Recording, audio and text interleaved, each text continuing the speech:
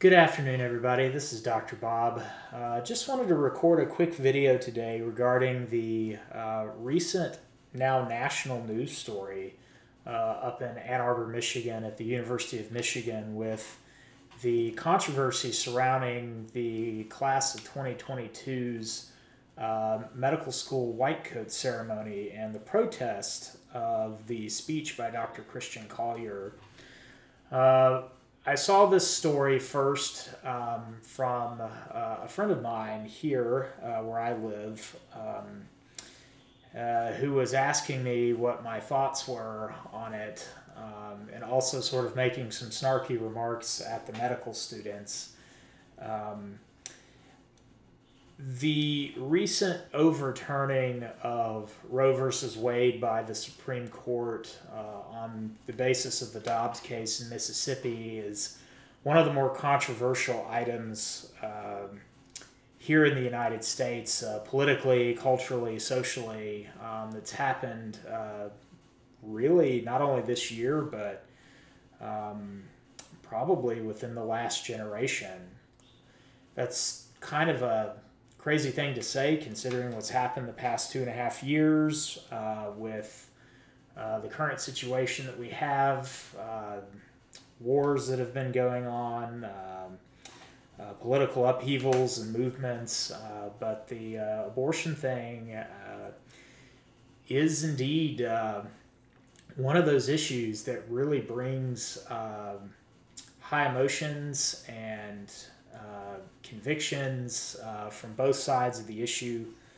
Obviously, for those of you who follow this channel, you know where I stand. Uh, I am thoroughly pro life. I do believe um, willful abortion, uh, intentional elective abortion, um, is in fact murder of the unborn.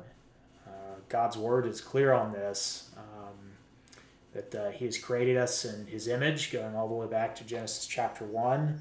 Uh, this um, principle is carried forward throughout the rest of the Tanakh, um, the Hebrew Old Testament, uh, and carries forward into the New Testament. Um, the issue of unborn life in our culture is one of the great um, crimes, one of the great tragedies that has occurred uh, in the past 50 years in the United States. Um, I don't even think that the original, I believe it was seven justices who uh, ruled in favor of abortion in the original 1973 Roe versus Wade decision could have foreseen uh, the use of widespread elective abortion as a means of birth control um, when they first handed down that decision. Um, I don't think even the most uh, forceful or uh, ardent supporters of abortion in the late 60s and early 70s could have foreseen the tens of millions of children who would be murdered and have their lives snuffed out by that decision. Um, but uh, in addition to addressing uh, Dr. Collier's speech, uh, I also wanted to talk about the broader issue um, in Vinay Prasad's, uh, that was brought up in Vinay Prasad's commentary uh, on uh, Dr. Collier's speech, where he was talking about um, you know the place in medicine for a diverse set of opinions. Um, and will there be a space in medicine for people who hold opinions like myself or like the tens of millions uh, potentially hundreds of millions of other uh, evangelical christians in the united states um, our co-belligerents in the culture uh, such as mormons and roman catholics and those of an Eastern or Oriental Orthodox background uh, who hold similar um, posi- similar position on the sanctity of human life as well as many other issues such as the right to bear arms, um, conservative economic policy, um, other pro family uh, uh, limited government, pro freedom of religion policies in the society is will there be a place for us um, in the institutions going forward? Um, or will we as uh, Christian believers um, continue to be more and more sidelined and marginalized in the places of influence in our society? Um, I think that is uh, an open question and one I wanted to talk about after I discussed Dr. Collier's speech. Um, so yeah, I, I watched uh, the commencement uh, or the white coat ceremony on YouTube that uh, Dr. Prasad uh, had linked to, and uh, I skipped through the part of the video where the individual students were receiving their white coats, um, and watched the period of this uh, ceremony before that time, as well as uh, Dr. Collier's speech after the students had received their white coats. Um, the first thought that I had was just how quickly time flies. Uh, it was roughly a decade ago um, when I went through my own white coat ceremony uh, at uh, the medical school that I attended, and uh, we had just sort of a speaker I don't even remember much. I just remember one of the second year medical students at my medical school spoke and was talking about uh, one day the little white coat will turn into the big white coat and just about the journey of medicine and the high calling that we are called to as doctors. Um, and then we took our, our oath, which for those of you not in the, the know, most medical schools today do not use the traditional Hippocratic oath. They use uh, an oath that is made by the medical school that is oftentimes based on the Hippocratic oath, but the actual uh, Hippocratic oath is no longer used uh, in most medical schools. Um, so, yeah, uh, for those of you who don't know what the white coat ceremony is, uh, Dr. Prasad did a good uh, job on his video, and I'll probably link to that in the description, just describing sort of the journey of what uh, happens with uh, medical students when they first enter the medical profession. Um, so the basic track, at least here in the United States, as well as in Canada, um, even though I think Canada might be a little bit different in terms of what somebody has to go through to become a doctor is that you have to go to college, you have to earn a four year degree um, with certain pre medical uh, prerequisite courses such as biology, chemistry, a certain level of math, physics.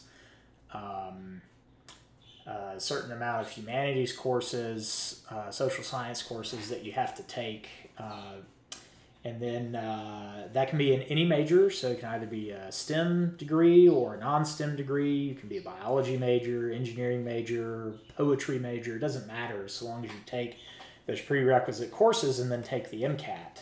Um, the MCAT uh, scoring is a little bit different today than it was when I took it, um, but that is used by medical colleges along with things like community service and leadership and grades and research and uh, you know uh, shadowing hours, um, healthcare exposure hours uh, to determine uh, who gets into medical school. Um, it's a big deal to be accepted into medical school.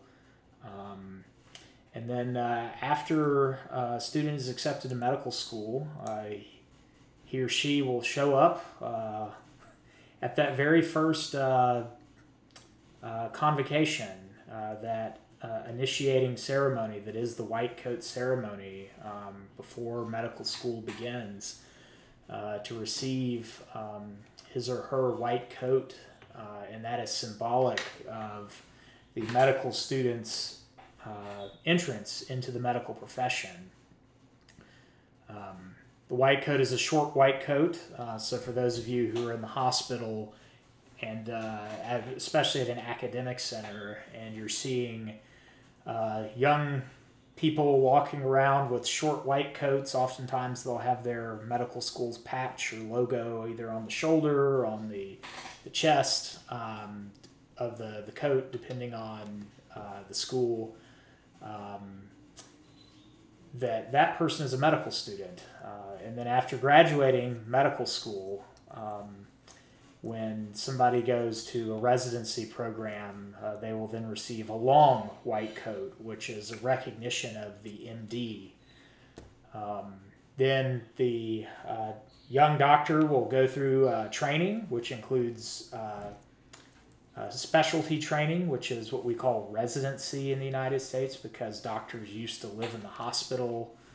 Um, and then uh, from residency, some physicians will do subspecialty training in what is called a fellowship program.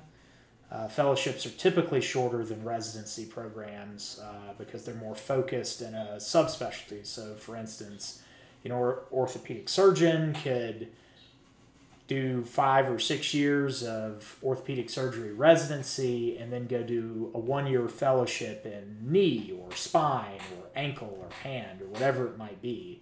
And so the specialty is orthopedic surgery. The subspecialty for which they do a fellowship would be, you know, knee based orthopedic surgery, whatever it is. I'm not an orthopedic surgeon, so I don't know the specifics of their field, but that's the general idea.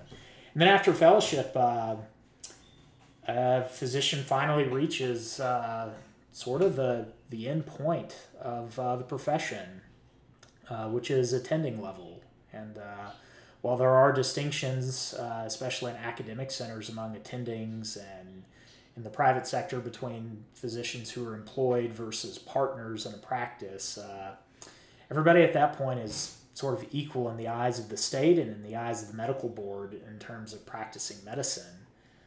Um, so that's the, the general path. Uh, but going back to the white coat ceremony and uh, starting to dive in a little bit into discussing Dr. Collier's uh, speech um, at the University of Michigan, um, the white coat ceremony is a special special time in every prospective physician's life and most medical schools will pick uh, typically uh, one medical student and then one uh, attending level physician uh, to give a talk or a motivational or an inspirational speech. Uh, typically short, only about 15 to 30 minutes at the very most.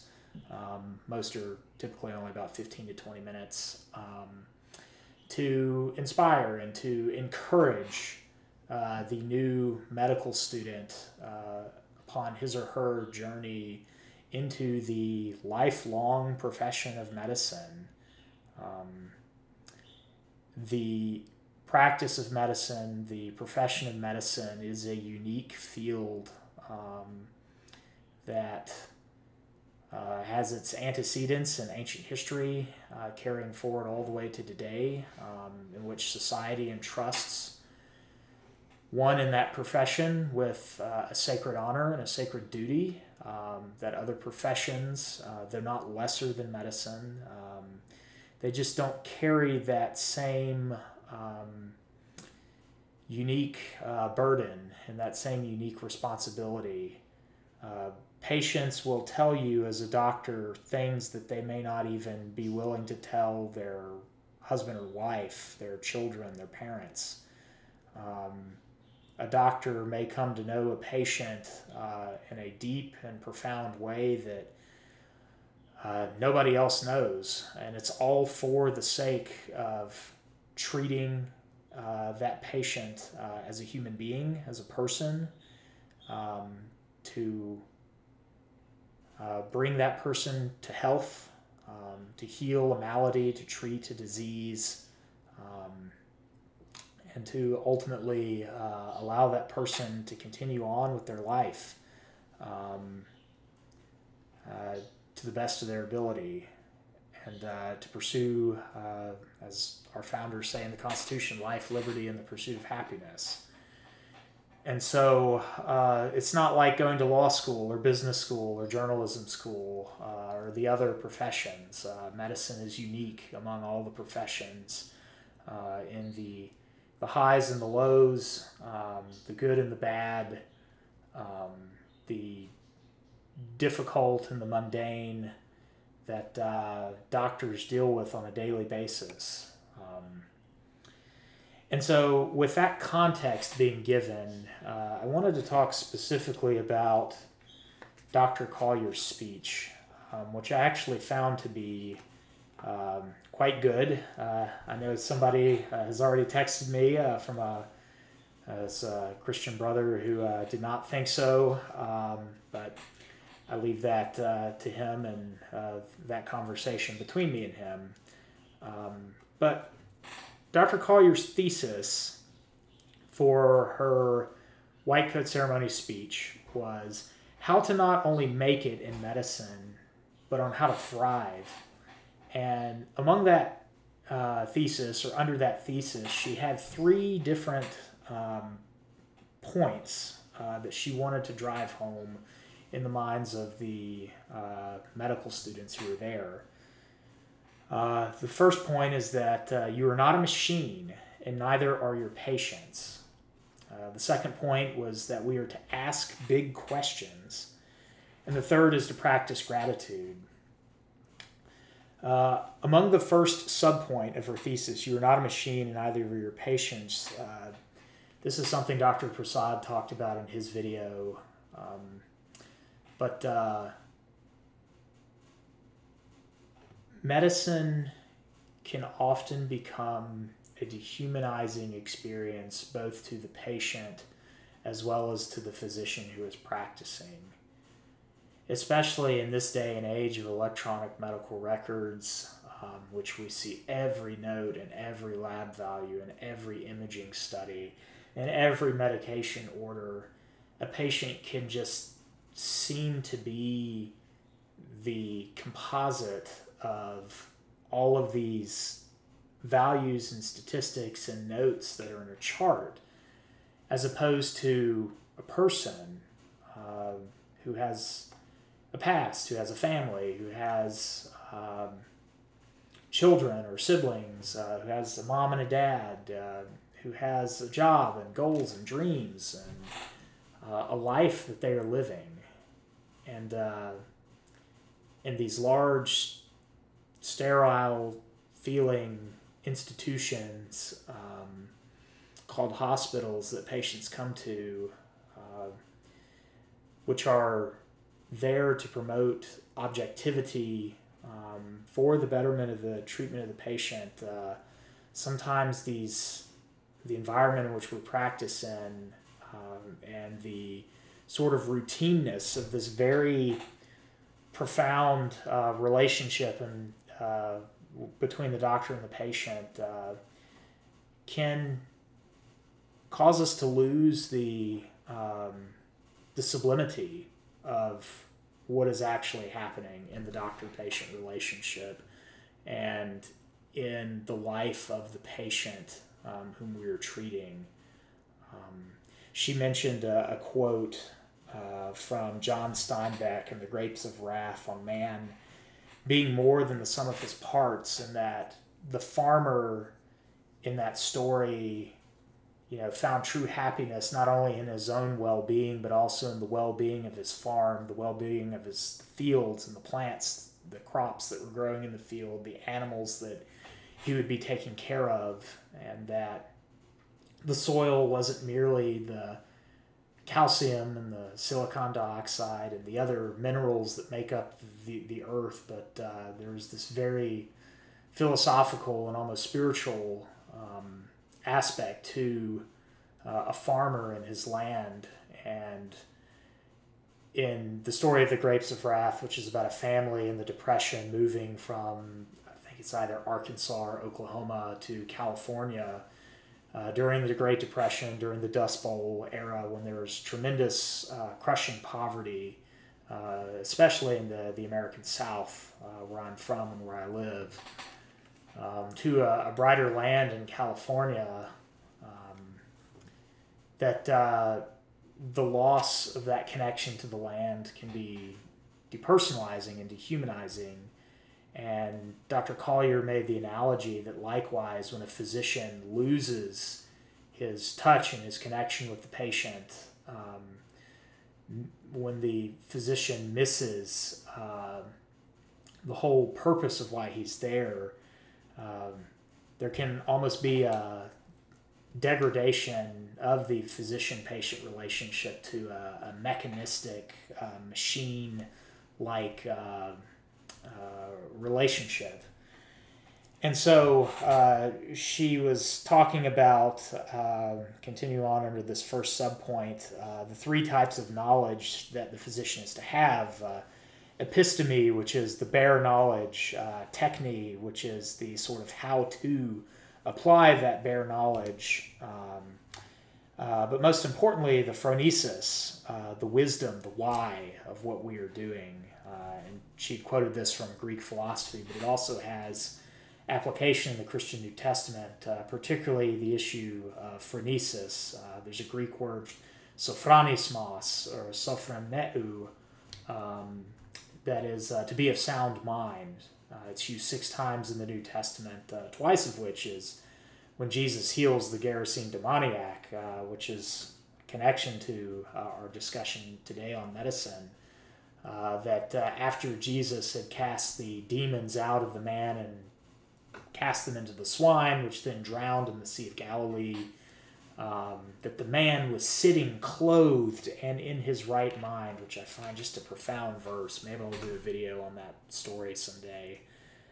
Um, but uh, there's a, a, soundness, there's a, a, a clarity uh, in that third type of knowledge, phronesis, uh, that is the real driving point uh, behind what we do.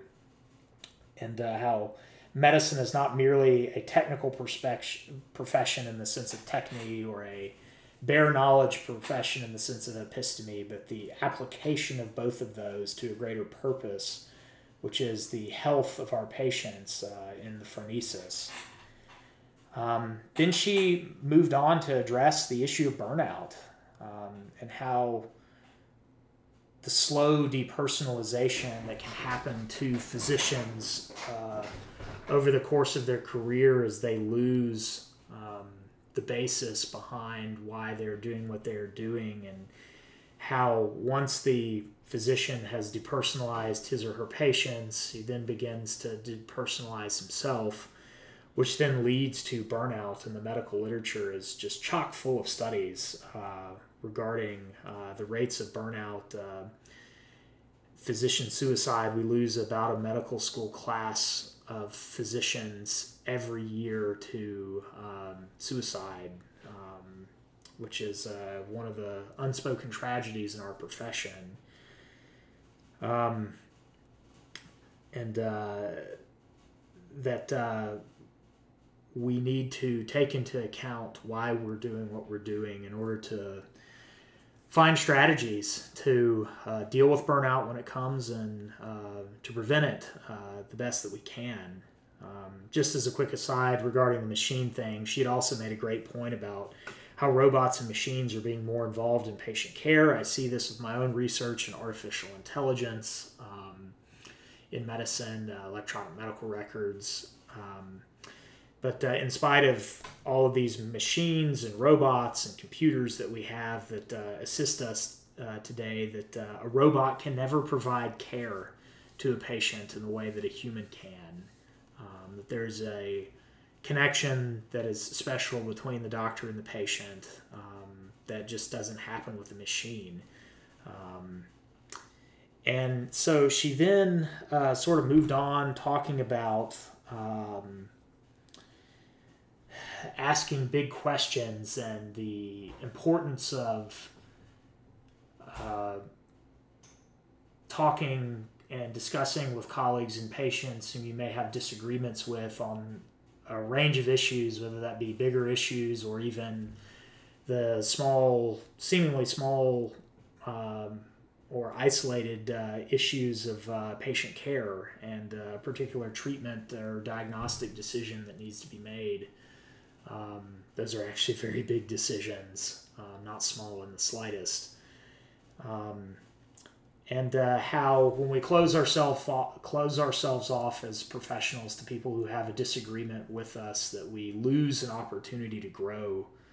Um, and then she moved on to the third point, the third, third subpoint about practicing gratitude, um, which I found to be the best point that she made in the entire speech. Um, she asked the big question, uh, tying back to point number two: uh, Why do or who do we include in our moral view of health?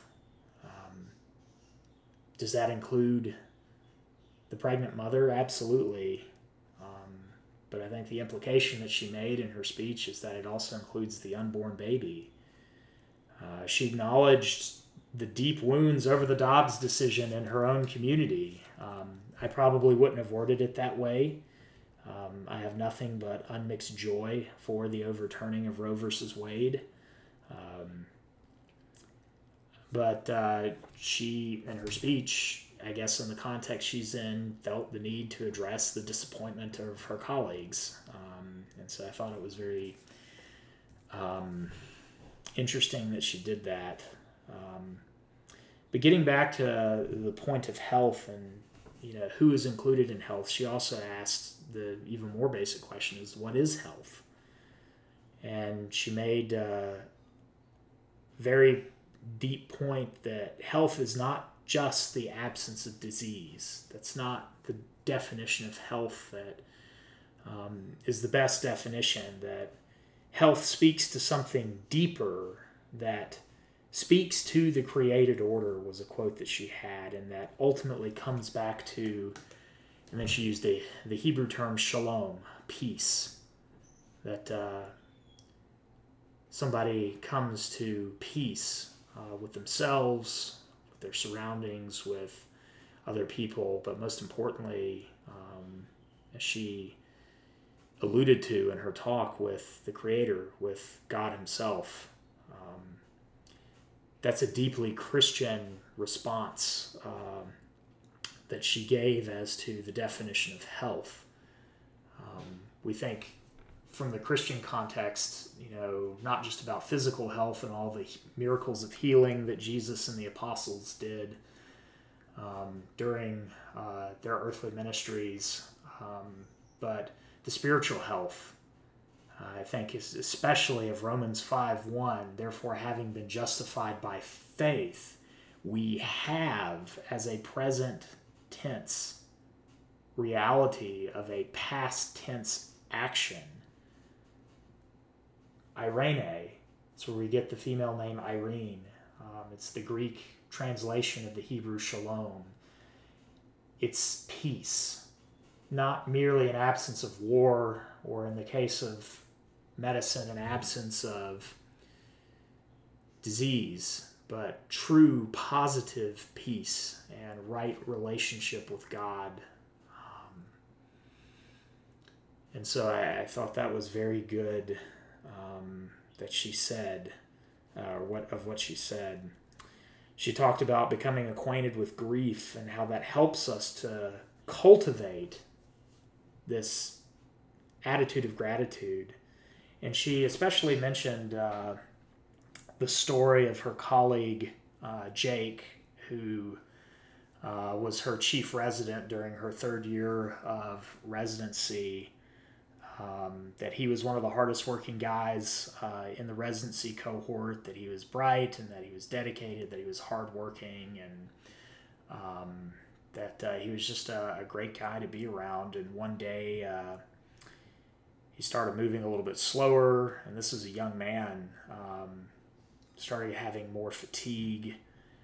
Um, but kept pushing through it and was telling everybody, no, it's all right. I'm going to be okay. There's nothing wrong and in the end, uh, one night he ended up having to be rushed to the emergency department after collapsing, and they imaged him and they found multiple masses in his liver. And for anybody in medicine, that's uh, a bad sign. It's a portent of some sort of metastatic cancer that has spread throughout the body and is incurable at that point. And um, she mentioned how after Jake had died, um, leaving behind a young wife and a grieving family and a shocked residency cohort.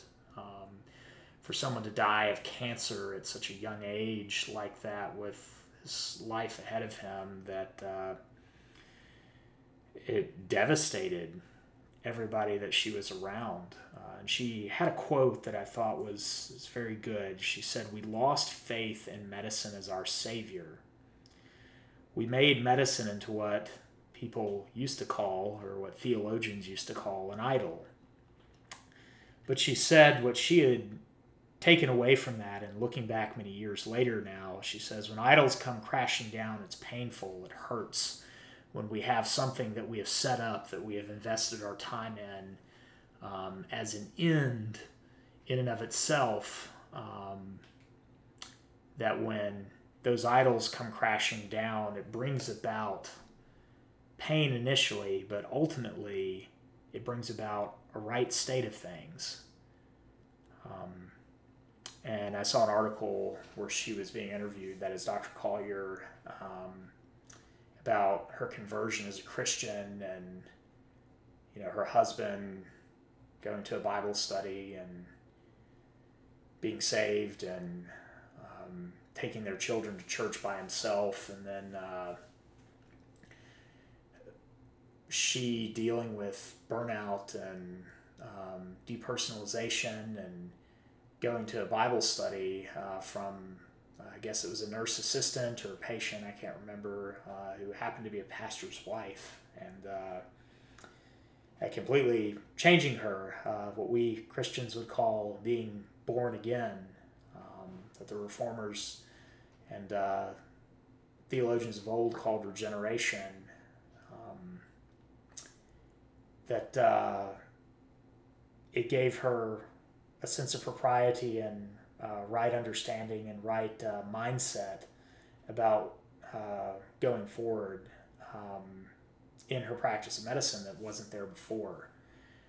Um, and so then she finished talking about treating and caring for patients who are different than us and um, how looking on this controversy from the outside there's a lot of people who have a lot of comments about the medical students. It's not my place to comment on their individual actions.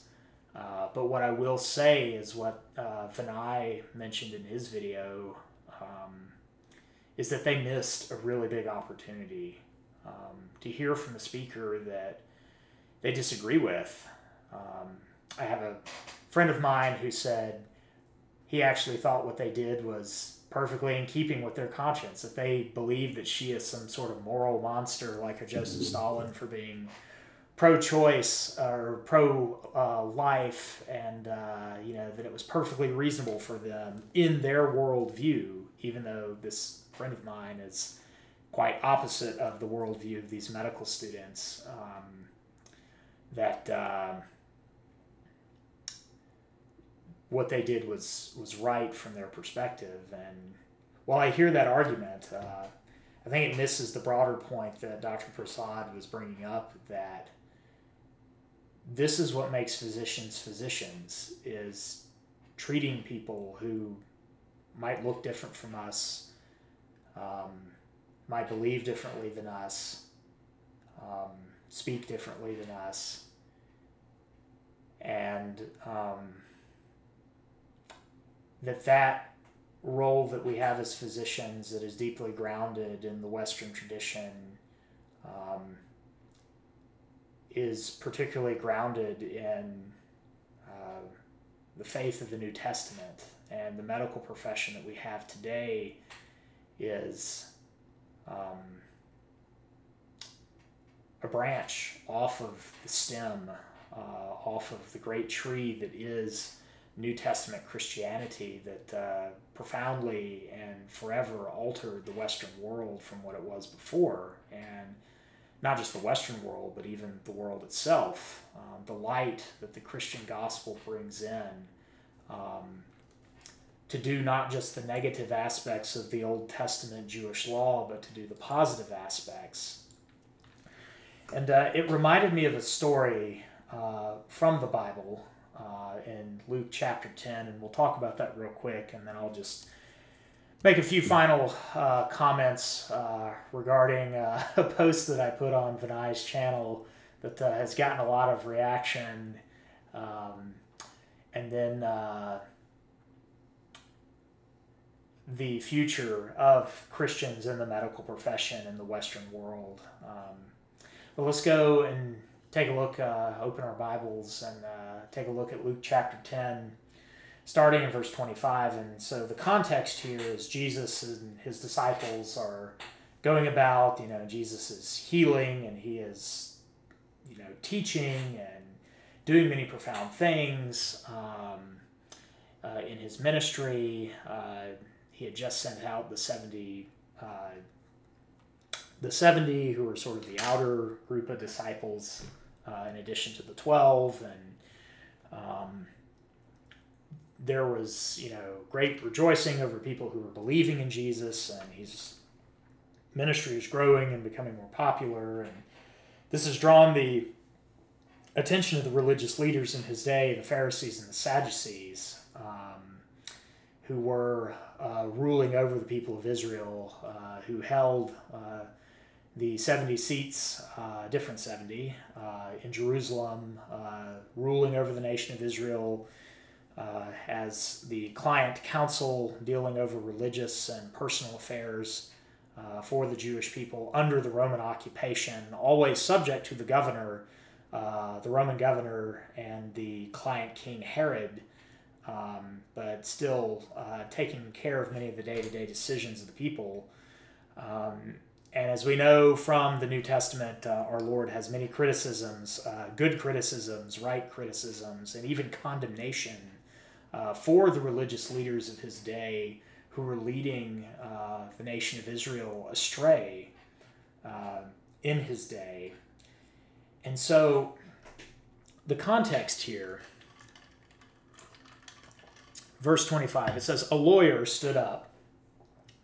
And so you can almost imagine this being some sort of proto yeshiva where there are rabbinical students and uh, this is very common in Jewish culture, from what I understand, um, where you'll have a rabbi who gives up and he stands up in the yeshiva and he'll give a teaching, and the students will just start, you know, asking questions. You know, what about this rabbi or what about that rabbi, and you know, really putting the rabbi to the test. Um, in terms of uh, you know his theological knowledge and his application of that theological knowledge and so when it says a lawyer, this is a, a Torah teacher. This is somebody who studies the law of Moses, uh, very similar to the ultra Orthodox today in Israel, who um, all day, every day, all they do is pray and read the Torah and recite the Torah and memorize the Torah and talk about the Torah.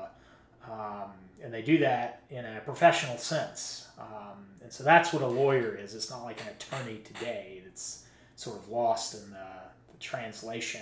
Um, as well as the, uh, the our divorce from this cultural context for those who are not close to Jewish culture. Um, so that's the context, and so Jesus and his disciples are there, and it seems like there's you know a good number of Pharisees uh, or Sadducees um, who are questioning him and uh, you know putting him to the test as a rabbi. And so it says a lawyer stood up and put him to the test, saying, didaskalia uh, or didaskalos in the Greek. Uh, it's we know in uh, the Aramaic uh, rabboni, uh, you know, teacher. What shall I do to inherit eternal life? And he said to him, Well, you're a lawyer. This is me talking. He says, What is written in the nomos, the Torah? How does it read to you? And he, that is the lawyer, the Torah teacher, the yeshiva student, so to speak, answered, You shall love the Lord your God with all your heart and with all your soul and with all your strength and with all your mind and with all your and your neighbor as yourself. So he quotes from Deuteronomy um, chapter 6, verse 4, Shema Yisrael, Adonai Eloheinu, Adonai Echad. You know, Hear O Israel, the Lord our God is one Lord. You shall love the Lord your God with all your heart, all your soul, all your mind, and all your strength. Amen. Um, but then he quotes, um, I believe it's from Leviticus 19 uh, after this. He says, And your neighbor as yourself. And he said to him, You have answered correctly. Do this, and you will live.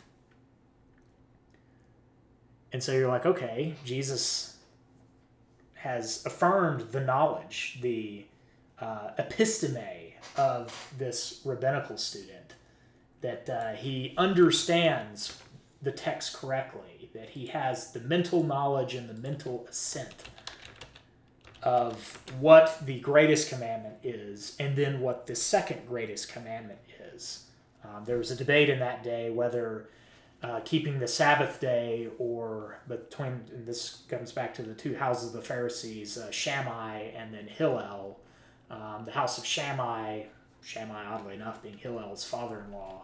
Um, this is before the time of Jesus. Uh, Shammai saying that you know you shall remember the Sabbath day and to keep it holy. That that was the second greatest commandment. Whereas Hillel said that the second greatest commandment was to love your neighbors yourself.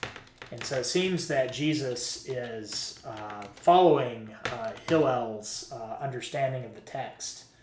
Um, and so um, the rabbinical student, the, the lawyer, he's answered correctly. Uh, he's you know got the right understanding of the text. And Jesus says, now go apply it, do this and you will live. But then it says in verse 29 something interesting. But wishing to justify himself, he said to Jesus, And who is my neighbor? Well, this is a very good question. Who is your neighbor? And what I think he had in the back of his mind, going to Leviticus 19, uh, we read this, uh, starting in verse 13 of Leviticus chapter 19. You shall not oppress your neighbor, nor rob him. The wages of a hired man are not to remain with you all night until morning. You shall not curse a deaf man, nor place a stumbling block before the blind, but you shall revere your God. I am the Lord. You shall do no injustice in judgment. You shall not be partial to the poor, nor defer to the great, but you are to judge your neighbor fairly. So we're starting to get a sense that your neighbor is the blind, your neighbor is the poor, but it's also the rich man, uh, that it's people from every strata of society. Continuing on in verse 16 You shall not go about as a slanderer among your people. And this is where I think the lawyer questioning Jesus is trying to make a point. Your people, who's your people? And you are not to act against the life of your neighbor. I am the Lord. You shall not hate your fellow countrymen in your heart. You may surely reprove your neighbor, but you shall not incur sin because of him. You shall not take vengeance, nor bear any grudge against the sons of your people, but you shall love your neighbor as yourself. I am the Lord. And so, what I think this lawyer, wishing to justify himself, was saying Sure, Rabbi, I'll be good to the poor man among the sons of Israel.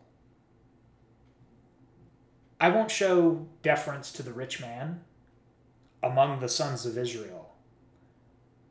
I won't cause a stumbling block to be put in front of the blind man among the sons of Israel. But I can do any of those things that I want to to those filthy Gentiles because they're just dogs and goyim. And they're not really my neighbor. I think that's what that man was thinking. Maybe I'm wrong, but given the context of Leviticus chapter 19 and the self righteousness of the Jews and their contempt for Gentiles who lived among them in Judea uh, and uh, in the first century, I think that's what this lawyer had in mind. But then Jesus does something profound. Starting in verse 30, Jesus replied and said, A man was going down from Jerusalem to Jericho. Down being down the mountain because Jerusalem is in a very hilly place and you go down in altitude, down in sea level from Jerusalem to Jericho, which is in a plain, and fell among robbers, and they stripped him and beat him and went away, leaving him half dead. And by chance, a priest. This is a son of Aaron. This is someone of the Aaronic priesthood, the highest rung of Jewish society in that day. Jesus says, and by chance a priest was going down on that road, and when he saw him, he passed by on the other side. Likewise, a Levite also. This is my people. The outer priesthood, the those who were not descended directly from Aaron, but who were from the tribe of Aaron and Moses, uh, the tribe of Levi, who held the outer priesthood, the, the lesser priesthood that uh, assisted the uh, sons of Aaron with the temple service, uh, the singing and the pitching of the tabernacle and the moving of the sacred objects that was entrusted to the Levites. So, the second greatest in society. Likewise, also a Levite, when he came to the place and saw him, passed by on the other side. And now the lawyer is getting all puffed up with pride, thinking, ah, and now he's going to say, and the Pharisee came by and did good to the man. But that's not what Jesus says. Verse 33 of Luke 10 But a Samaritan who was on a journey came upon him, and when he saw him, he felt compassion and came to him and bandaged up his wounds, pouring oil and wine on them. And he put him on his own beast and brought him to an inn and took care of him. On the next day, he took out two denarii and gave it to the innkeeper and said, Take care of him, and whatever more you spend, when I return, I will repay you. You can imagine the stunned silence among the Pharisees who are questioning Jesus at this point. Samaritan? The half breed? The one descended from the ten northern tribes, uh, who was also mixed with Assyrians and Babylonians and Arameans and you know other Gentile enemy nations of Israel. These Samaritans who worship on Mount Gerizim, who are heretics, who they only accept the five books of Moses and don't accept the Psalms or the Proverbs or the prophets or the historical books. You mean a Samaritan? Jesus says in verse 36 And which of these three do you think proved to be a neighbor to the man who fell into the robber's hands? A shocking rebuke of our Lord to the self righteous Pharisees, the self righteous religious elite of his day.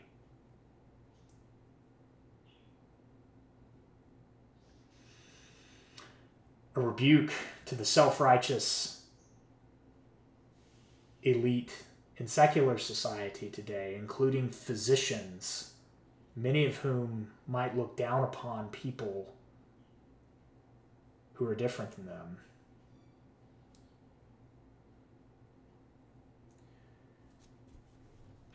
continuing on and finishing up in verse 37, you can almost hear the begrudging mixture of shame and anger in the defeated anger in the, the voice of the, uh, the Pharisaical lawyer here. And he said to Jesus' question, the one who showed mercy toward him, and now Jesus repeats his prior command of do this and live. For Jesus says, Then Jesus said to him, Go and do the same. And the implication of there is not just to your fellow Israelite, not just to your fellow Jew, but to anyone whom God may providentially put in your path who needs you to be a neighbor to them.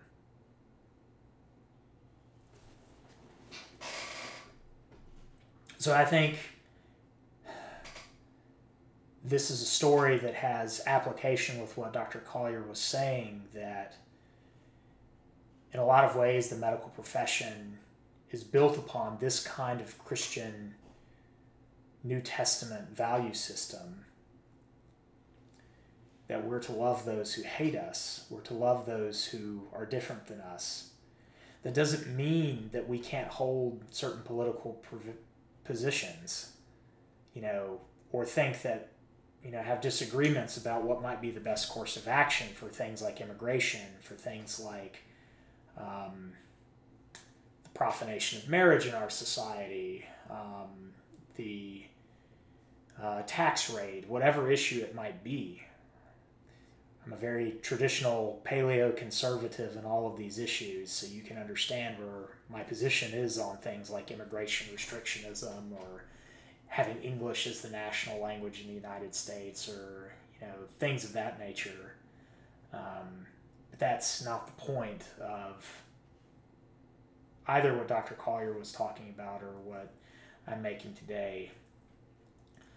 The point is, is that we as physicians have a moral and ethical obligation to treat those, especially who are different than us, um, with love and with compassion.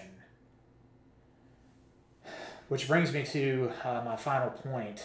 Um, I think the medical students who walked out of the speech, they missed something very good that Dr. Collier said. Um, they missed a speech that I think could have um, allowed them to learn something from somebody who had a different political point of view, somebody has a different moral and ethical point of view. And uh, they missed that opportunity. I'm afraid that with the increasing secularization of our society, the brainwashing of our young people in government schools and by academia, our undergraduate universities, um, the media, popular culture, uh, and this um, twisted and perverse secular humanism that is the religion of our land today, that uh, cancel culture um, is going to become more mainstreamed and more accepted even than it is right now as time goes along. Um, I'm especially concerned in light of what happened in Canada within the past few years with the Trinity University Law School being stripped of its ability to grant uh, recognized law degrees to its students because of its Christian convictions against uh, the profanation of marriage. Um, and uh, its Christian convictions in other areas,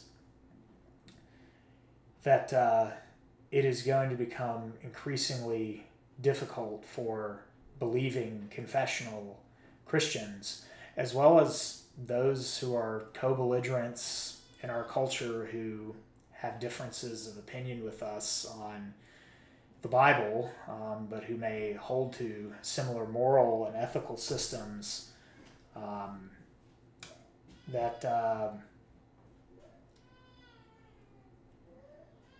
the chance for us to have this profession open to us is going to become uh, less and less. I've had conversations with medical students here at my church uh, just regarding the whole transgenderism issue and the really dark and just leaves me without words. Difficult uh, experiences that they have had that even I, going through medical school, you know, five to ten years ago, didn't experience. Um, that it's getting even harder than it was when I was in medical school, which is, is difficult uh, to imagine. Um, but uh, the indoctrination that they're receiving and the ability to push back and to boldly speak uh, for Christ uh, in this setting is becoming more and more limited. Um, so I don't know what the future is. Um,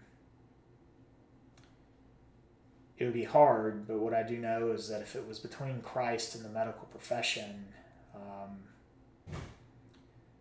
Dr. Bob would, with much pain, um, but out of duty and out of a recognition of the grace that he has been given, would lay aside the title doctor and just be Bob if it came between my profession and my Lord. I believe my profession is the gifting and the talent uh, that God has given me um, to help others, to provide for my family as well in this life. Um, but we have no guarantees in this life. Just as uh, Jake, um, Dr. Collier's uh, colleague, had no guarantee. One year he's living his life and going through medical training, and the next year it's it's gone, and he's has to stand before his creator, um, either in righteousness or unrighteousness, um, which is a profound and sobering thought. Um, but ultimately, I'd have to choose Christ. Um, Christians are already persecuted around the world. Places like Pakistan, they're not allowed to hold the upper positions in society. China, North Korea, Vietnam, many places in Latin America where the gangs have taken over Christian pastors and others are persecuted and not allowed to live a normal life. Um, that maybe we're going to experience a little bit of that here in the West. But uh, yeah, so in light of that, I commented on Dr. Prasad's video and was like, you know, thank you for from a evangelical confessional pro-life Christian who um, is believes differently. Um, that thank you, Vinay. Thank you, Dr. Prasad, for standing up for our right to be physicians, to enter the medical profession. Um, and uh, to be willing to call his colleagues. I pray for Dr. Prasad that he would come to know Christ and his fullness, and that uh, Lord, uh, uh that God would bring Vinay to a knowledge of the truth. Um, so those are my thoughts. Those are my comments. Uh, feel free to like, comment, and subscribe on the video, and uh, I'd love to continue to get to know you guys more as I am back to making videos and uh, with that, I'll leave you with uh, the Apostle Paul's admonition uh, that uh, grace and peace be with you all. Um, in Christ's name, amen.